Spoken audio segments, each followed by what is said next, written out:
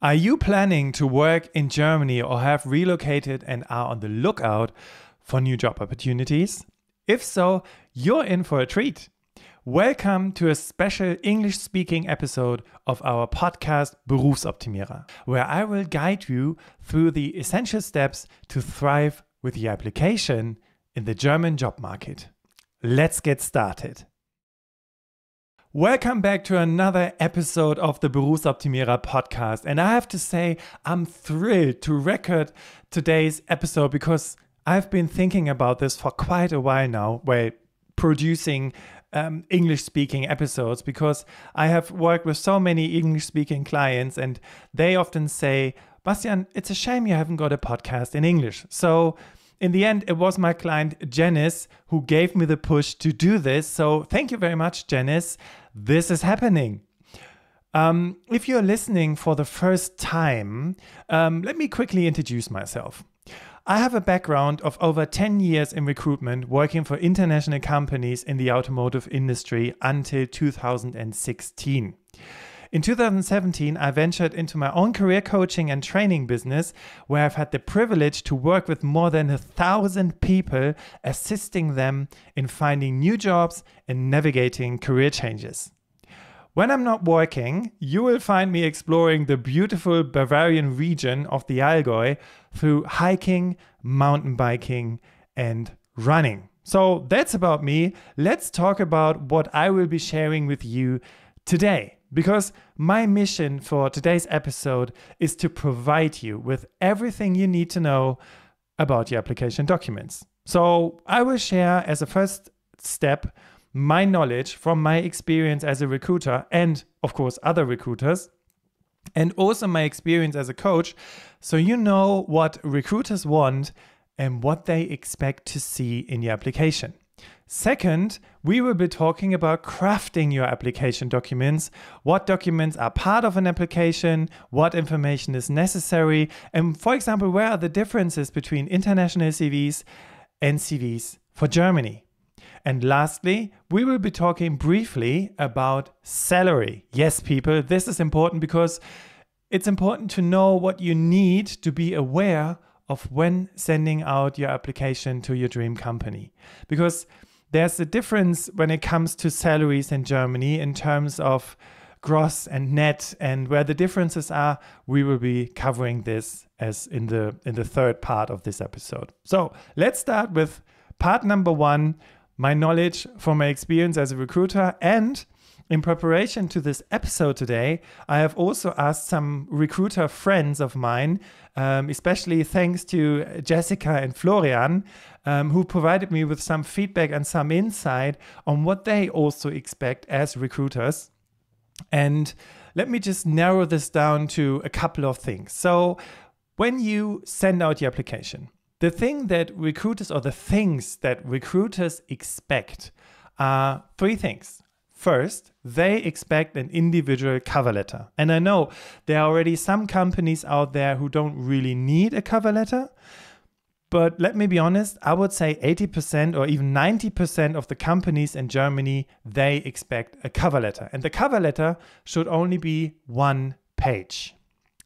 Then they expect a tailored CV. And if you uh, go, Google um, international CVs or CVs in US style or UK style, the thing is, most of these CVs, or in general, these CVs kind of all look the same. And the differences they have is through the the the text, what is written, the the things applicants talk about. But this is not how it works in Germany. It's not about having the same CV as everybody else. And to be honest, I think this is a very good way because it makes it comparable. So there are some things you need to focus on when creating your CV, and I will talking about I will be talking about this in the second part. Your work certificates and certificates of your qualifications and educational courses you took. Here in Germany, we love references and qualifications. Um, so it's very important that you add these documents to your application. And if you say, Bastian, uh, I have around about 100 different documents about qualifications, which documents should I add? Two things are important. One, when we're talking about work certificates, certificates of your qualifications and educational courses, it's just important to know that German recruiters love these documents, these references. And if you ask yourself, okay, so Bastian, I don't know, I have around about a 50, 50 different qualifications and documents and certificates. Should I send all of them? No, you shouldn't. Because the thing is, what is important in terms of work certificates should be maybe, I don't know, the last five years or something like that, because um, no, your recent uh, position you worked in or the recent uh, company you worked for. When it comes to courses or certificates for educational, uh, for further education, um, you should only add the documents um, that you are also, or you should only add the, the certificates that you'll also be talking about in your CV. So, I don't know, when there's an Excel course you took, I don't know, 10 years ago, for example, um, but you're not saying this in your CV, you wouldn't need to add this document. And what you can always do to be on the safe side, yeah, if you say, okay, Bastian, I have around about 50 different documents, you can always say in your um, email or in the text, let's say the cover letter or even um, when you upload your documents to the applicant tracking system the company uses there's always a small info box. You can always say to them um, further qualifications or further documents I, I can send up on request. And then you're on the safe side saying i also have some other documents also for you.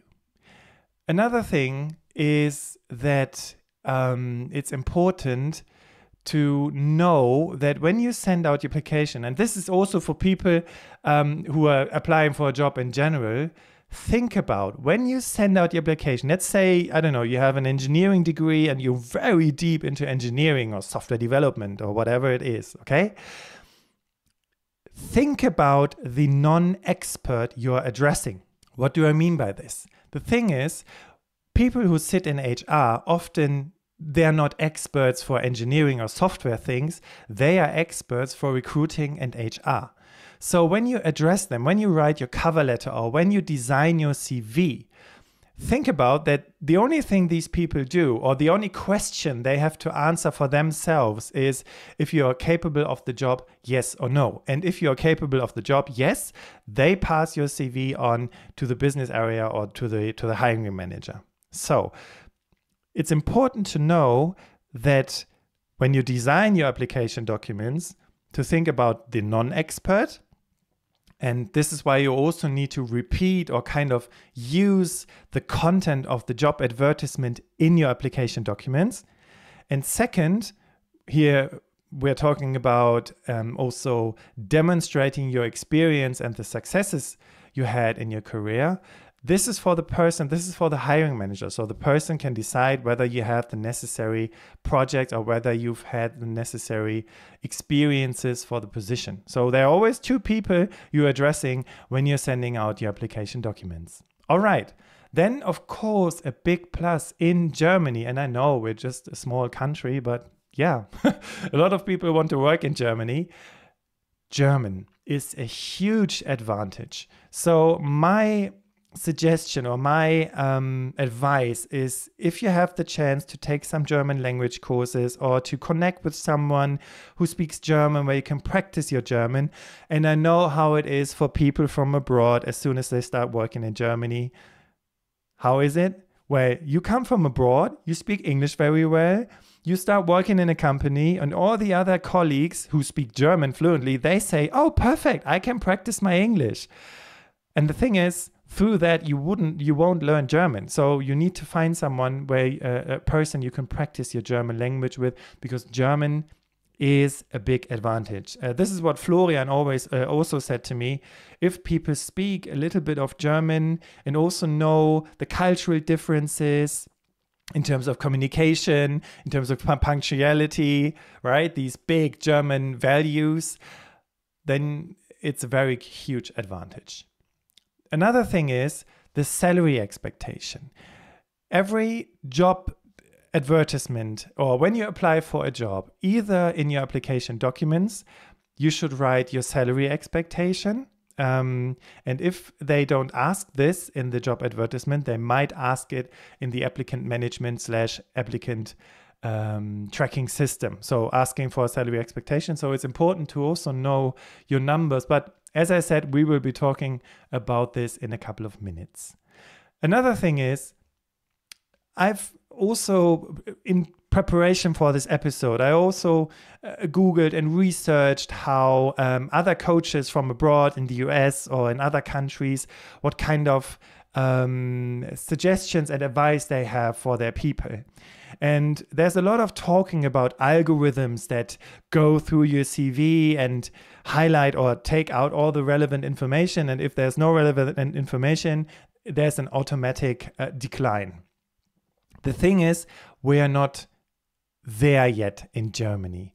Also, in terms of um, I don't know if you heard about the Allgemeine Gleichbehandlungsgesetz, meaning to exclude any forms of discrimination. In Germany, yes, we have this law, and it's very important to treat everyone equal. Totally agreed. But the thing is, when it comes to application documents, um, and that's why a photo is so important, and I will be talking about this also about in the next couple of minutes, is that in Germany, recruitment is, yeah, kind of also a people thing. Okay. So that's why it's important to know there's no algorithm going through your CV. There's a person reading this through. And if you have a friendly picture and no headshot, like you would have it, for example, for your, um, personal ID because this this is what I also realized when I was recruiting a lot of people from India. They always had these headshots, these uh, personal ID photos where no one was smiling and the picture was a bit blurry. This is not the thing, but yeah, I will be talking about this in a couple of minutes. What I want to say is there's no algorithm. Realize when you're talking to um, um, when you're in contact with recruiters, when you send out your application, you have to think about the person going through this. And this is why it's important to know that CVs don't have to be a one page document. They should include a picture and they should have a little bit of design. But um, let's talk about the last thing um, work certificates and also your university degree. Some professions in Germany, such as medicine, engineering, or teaching, they require qualifications, of course. The thing is, if you have passed your degree in a different country, maybe a non European country, it's important to research whether your qualifications need to be evaluated and accepted in Germany. And um, the German expression for that is beglaubigte Urkunden, beglaubigte Zeugnisse. And if, if you're interested in how you can do this, just send me a message. I will uh, give you my email address at the end. But if you want to know how to get these beglaubigte Urkunden, how to get your um, certificates beglaubigt, so they are accepted here in Germany, just um, let me know. Let's talk about crafting your application documents. This is the second part of this episode. So it's important um, that the style of applying for a job outside Germany is different. What do I mean by that? Mostly recruiters, international recruiters that are interviewed and where they post an article on the internet, they always say it's all about passion. You have to bring in your passion into your cover letter, blah, blah, blah. The thing is, in Germany, it's about value, it's not about passion. Passion comes when you sit in the job interview and you show them you're interested. But first, when you write your cover letter, please do not do the mis- uh, make the mistake that most people do writing i was thrilled to read your job advertisement and um, uh, i can really uh, think myself into this position. Please don't do that. Please start with value. And what i mean by value is when you're addressing the person the recruiter who's reading your cv uh, your cover letter sorry um, start with okay, so there are requirements in the job advertisement, right? A university degree, some experience, some knowledge and tools, etc. So you should start your the first paragraph of the cover letter should start with that, saying something like, I don't know, with five years of experience in this and this area and a successful um, uh, uh, um, completed degree in blah, blah, blah, and a special knowledge and this and that, I'm applying at the above mentioned position in your company. This is so important because, as I said a couple of minutes ago, recruiters ask themselves, Are you capable of doing the job? Yes or no? And the only thing how they can check this is by comparing the job advertisement with your application documents. This is the only thing they will be doing. And here we are also in terms of tailored documents. Okay, so CV and cover letters should always be tailored, focusing on the job advertisement or the, the job you're applying for. And you could use the job advertisement also for orientation and also in terms of structure when building your cover letter. Um, I've done now, I don't know how many, well, as a recruiter, around about 2,000, 3,000 CVs uh, and, and cover letters I've read almost sounding the same. And as a coach and as a um, person who optimizes and checks application documents of my clients, um, I have optimized so many application documents where people afterwards were more successful in getting the interview for the job. And here's what I've experienced after the last six years what structure in a cover letter really works. So, step number one, and of course, you have the the um, the person you're addressing the cover letter to. So if there's no one, you should maybe research the person on LinkedIn. And we just learned the first paragraph was um, talking about value. And this value is always related to the requirements of the job advertisement. Okay, so first paragraph. Second paragraph should be focusing on the tasks and responsibilities, right? Where it says, in this position as a project manager, you will be responsible for ABC and you will be working with XYZ. And in this second paragraph, you now relate to this, the require uh, the um, and responsibilities of the job advertisement. So saying something like, in my position as a blah blah blah, I'm responsible for this and that, and um, I uh, also handle projects related to this and that, and um, and this is very important. This is key. Now add a success, something like, yeah, and through my um, my work in this and this project, we were able to reduce, increase, um, leverage, etc., etc., uh, by so and so many percent. And when you when you write this second paragraph and you relate to the responsibilities of the job advertisement, the person will see as the first paragraph, okay, capable of doing the job. Second paragraph, okay, knows what needs to be done in this job to be successful. And the third paragraph of your cover letter should cover motivation. Okay. And motivation here is the is same as important as the value for the job you're offering. So when you think about motivation, yeah, passion, blah, blah. I'm sorry, but this is something that doesn't get you the job. What gets you the job is to understand okay, um, I've worked in this and this area before, uh, or have some skills that are related to this position I'm currently applying for, and maybe combining my um, um, my past experience with the position I'm applying for could be a great advantage for the company in terms of X, Y, Z and also for me in terms of XYZ. So, this is how you build this paragraph about motivation. And then the fourth paragraph is about availability and salary expectation.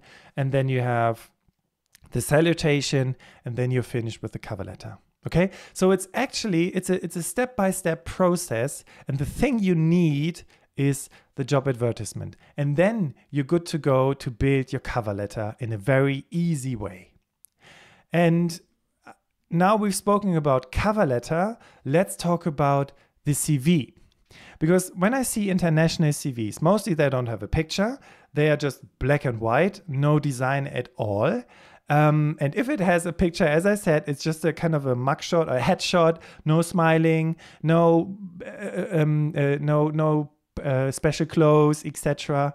And the picture is in Germany is key. In 2017, the company Stepstone, one of the big, biggest uh, companies or the biggest um, online platform for jobs in Germany, they did a study with recruiters. And they gave them CVs and did a eye tracking study to see where do recruiters go first or where do they look first when they go through CV documents. And guess what? The first thing where the eyes went to is the picture. And this is why a picture, a photo is so important in your CV because it can really make a difference. The second thing is, um, yes, there's this US format where you have this um, this short paragraph about uh, what you're looking for, what kind of position you're looking for. Then you have the next paragraph talking about uh, you're highly motivated with hands-on experience, blah blah blah person, and then you have also your uh, competencies. And Florian had a very good argument about that because he said, well, first of all, since you have a cover letter in Germany, you don't need this statement at the top. You have a cover letter. Cover letter should cover this. Secondly, this statement is always in written text. And my advice is to use bullet points. And fun fact, how should these, where should these bullet points relate to? Of course, the job advertisement. So when it says, uh, I don't know, so, so many years of experience in, you say so and so many experience in, and you um, make it more concrete if you're talking about the relevant experience you have in this area. Okay, so you just use the requirements of the job advertisement and also kind of copy paste this into your short profile at the beginning of the CV, and you find um, things that relate to the job advertisement based on your experience and skill. Then you add a photo on the right or the left hand side, you can decide. Um, and you don't need these competency word bubble thing anymore where you say i don't know i have 20 different competencies like uh, i don't know um, hands-on mentality uh, hardworking blah blah blah. Please don't do that. Because if you put this into your cv everyone can put this into their cv the better thing is to think, okay, I have this skill, let's say communication skills, then add a short sentence why you have these communication skills. For example, communication skills through working with cross functional departments on an international scale. Then you explain why you have communication skills, and now it makes sense. Now it's not just a word, okay? Now it's a sentence with proof. Once you have this, so we start at the top with um, the uh, headline, CV or curriculum vitae. Then we have the personal information. On the right hand side, we have the photo. Below that, we have like a like a short profile. These, uh, let's say, three to five bullet points related to the job advertisement. Then you start with your experience from when until when, what position, what company, and what did you do at the company. And you can choose whether you want to talk about the duties, so your, your responsibilities, or you want to talk about successes. This is also a way of uh, demonstrating your experience and skill. So you can choose whatever you want. The next thing is education, right? So where did you do your university degree or training? And then um, further skills or even IT and uh, or software and language skills. And if you like, you can also add further accomplishments, maybe a scholarship or something like that. And then um, you, um, if you like, you can also add the further education qualifications in, I don't know, Excel or some courses you took via Udemy. And then signature. And then you're finished with your CV, signature and date. And then you're finished with your CV and you're good to go. Okay, so there was a lot of information about application documents, about the cover letter and the CV. But I mean, we both know this is crucial for your success to be invited to a job interview. And if you have the chance when you're applying at a company, maybe translate your CV in German and English because the recruiting person might not be very good in, in English, but the hiring manager might be very good in English. And now through that, you cover a person who doesn't speak German, uh, who doesn't speak English so well, and you cover a person who speaks English very well. And then when you write your CV in German and English, and there are also services, companies that offer that, or you use ChatGPT, for example, for translation or Google Translator, um, you should be good to go to have a CV also in the German language. Okay. If you have any further questions in terms of your application documents, at the end of the podcast episode, I will give you an email address where you can write me. Um, you can also, if you like, book um, uh, it's called Erstgespräch, so it's like a like a short meeting, 30 minutes via the phone, where we're talking about what kind of um, yeah problems you have with your application documents or even with applying. So, yeah, shoot me a message or contact me via LinkedIn. I look forward to it. And now I want to talk to you about salary. And salary in your application documents usually is in your cover letter. So at the end of your cover letter, you say, I'm available, I don't know, as soon as possible, and my salary expectation is between X and Y. And what most people don't know when they're from abroad is there's a difference between gross, in Germany it's called brutto, and net, netto. And gross and net um, is important because when you send out your application, you always communicate the gross, never the net. Why? Well, in Germany, you pay tax and insurance um, with your salary, and when your um, and your when your employer when your employer pays you no, hands out your gives you the pay slip you can see that tax and insurance is directly reduced by the from the gross amount. And the difference is your net. So why cannot you communicate your net? Because there are differences in tax group in Germany in terms of insurances and other things. And that's why you always have to give them your gross amount and if you're insecure about salary, okay, so what can I ask for? What is a proper salary in that area? Research salaries on pages like, for example, kununu.de or glassdoor.com.de. Um, but please do not take this for granted, okay? Do some more research in the industry because there's also a difference between a manufacturer, a supplier, and a consulting company. Okay, so there are also salary differences in that. Please do not argument when you, I don't know, looked for a salary at BMW and you're talking to a recruiter from a consulting company in the automotive industry saying, yeah, at BMW, uh, this is the salary you pay for an engineering position. Okay, so it's not comparable. This is this is really important to know. And then um, it's important to to know that um, of course you could ask people about their salary right? To know okay what, what do they pay in that area? And some people might give you some information and uh, yes network is of course crucial when finding a job in germany but not all everyone is so open about salary. So just be aware of the fact that people don't like to talk about salary so openly. And the last thing in terms of research but also in terms of salary bands is we have tariff contracts at some industries in Germany. So, um, for example, the IG Metall tariff contract in the industry, in the engineering industry, for example, is a tariff contract where it says, based on your experience um, and your competencies, your salary is that and often it's not really negotiable. So think about that, and it's a good thing to to have these tariff tariff contracts because when you do your research, you can also research research tariff contracts in Germany to get a better understanding um, of what what is paid in that industry. And then it helps you also with your salary expectation when you're applying for a job in a company where you where they might don't have uh, a tariff contract.